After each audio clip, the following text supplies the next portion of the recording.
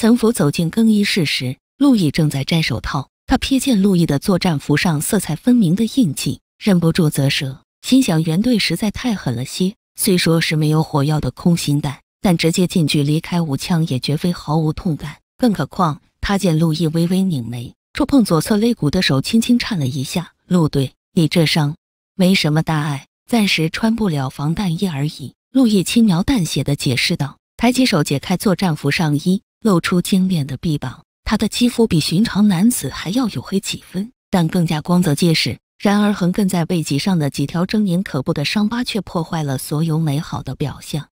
陆毅听见岑福轻轻嘶了一下，他没有回头，只是漫不经心地摆了摆手：“别告诉惊夏。”可是，没什么可是，都过去了。陆毅径直打断了岑福的话，不容置喙，将丢在长椅上的衣物整齐地叠好，放入储物柜里。转身走进了大澡堂，他伤的是自己的身体，却不打算再伤到心上人。陆队，好久不见！大澡堂里热闹非凡，赢得演习胜利的二队队员嘻嘻哈哈。杨月回头看见进来的陆毅，客气的打了声招呼。陆毅轻颔首，扭头寻了个空位，拧开水龙头，寒冷彻骨的凉水淋湿了他整齐的短发。陆毅闭上眼，随着呼吸时强时弱的疼痛，似乎舒缓了些。哟，这不是精忠报国的陆队长吗？您终于舍得回我们这小破庙了。谢霄阴阳怪气的声音传到耳侧，陆毅装若未闻，将手中的香皂沫抹在了脖梗侧。谢霄，你什么意思？陆毅不开口，不代表一队其他人愿意忍气吞声。方程将手中的毛巾往水龙头上一甩，气势汹汹地走了过去，身侧跟着一队另几名年轻的队员。二队自然也不是任人宰割的软柿子。立马也大步迎了上去，双方剑拔弩张，一副随时都要打起来的架势。陆队岑福虽担任一队队长，但他更习惯听陆毅指挥。如今陆毅既已归队，岑福更是再不愿管控那群刺头。他下意识地看向陆毅，后者随意地擦了一把脸上的水渍，状似自然地放下手。那边谢霄不顾杨月的阻拦，再上前一步，理直气壮地瞪着方程：“怎么？”欺负我们队长是姑娘是吧？别以为你们陆队以前是惊吓的男，都给我滚回去！陆毅舒尔睁开眼，转身望去，他仍站在原处，离队员们不算近，然而令他们陡增危机感的压迫力依然铺天盖地的笼罩下来。演习不够尽兴是不是？明天负重拉练，每个人多跑五公里。时隔一年，记吃不记打的小伙子们再次真切体会到陆阎王的恐怖之处，看着阵仗。怕是陆队又发火了。一墙之隔的女狱内，上官熙同惊夏含笑道：“惊夏含糊的应了一声，用手中的毛巾擦了擦发顶。上官熙见他没什么反应，打趣道：‘你这是打算和陆队一刀两断吗？等了整整一年，就为了和他重逢时狠狠揍他一顿？’熙姐，我哪儿有这么小心眼？”惊夏轻轻叹了口气，有些困惑的微蹙眉：“我就是觉得不太对，哪里不对？”你看，陆毅这一年可是去的维和部队，又不是去度假了。金夏习惯性的咬了咬大拇指的指甲。陆毅曾经纠正过他这极不卫生的动作，然而偶尔遇到百思不得其解的事情，他又会不自觉的捡起老习惯。不论是实战还是训练的强度，都不可能比在队里时弱。按理说，他要撂倒我，那可是绰绰有余。可是今天我自己都没费多大的气力，就将他摁下去了。就算陈松在暗处，以陆毅的性子。也不会这么轻易就放弃抵抗。我总觉得陆毅肯定有什么是在瞒着咱们，可别咱们。上官熙连忙打住他：“是你，你什么时候见过陆队顾及我们这些队员的感受了？只有你才是特例。”金夏哑然，来不及反驳，便听见上官熙悠悠补充道：“陆队若真有什么事，你直接去问不就可以了？何必在这儿费劲的猜测？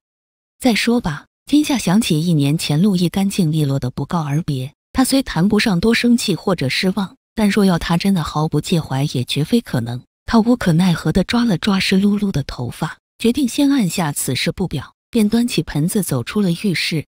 哪知刚换好衣服走出更衣室，金夏就撞见站在廊上的陆毅。他穿着深色的训练背心，微拉拉链的作战服松松地套在身上，丝毫没有遮掩他弧度恰好的肌肉曲线。听到声音，陆毅转头望向他，没有说话。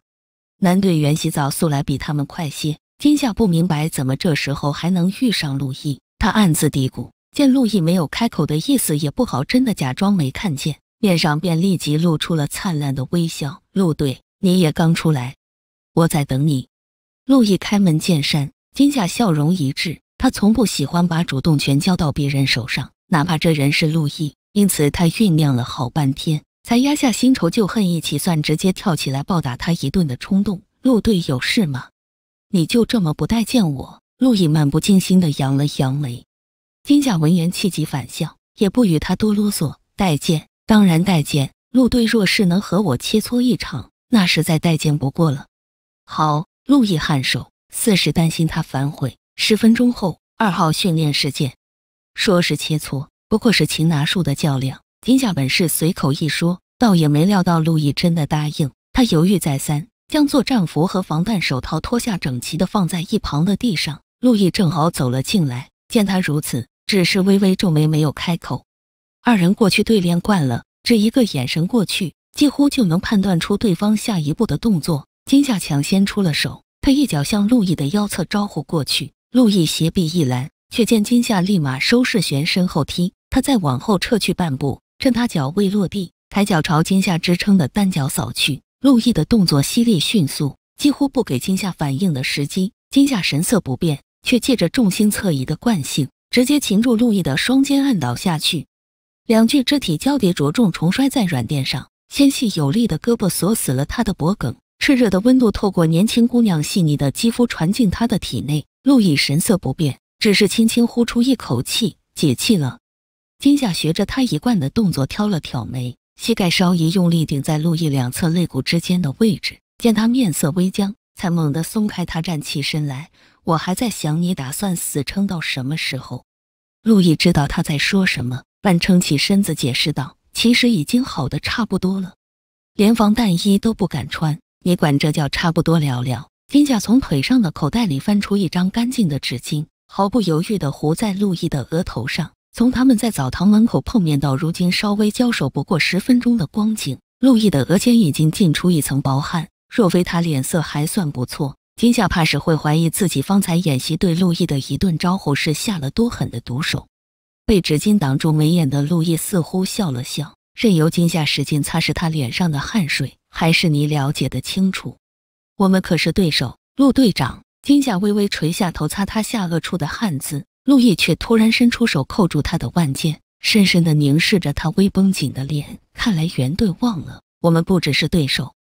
金夏抬起头，没好气的白了他一眼。陆毅，做人要懂得分寸。你一回来不道歉就算了，还想用苦肉计诓我？我看起来这么好哄吗？嗯，对不起。陆毅眼睛都不眨，快速的说道。金夏哑然的看着能屈能伸的陆毅，终是将纸巾随手塞回口袋里。眉眼慢慢柔和下来，恭喜你，苦肉计确实有效。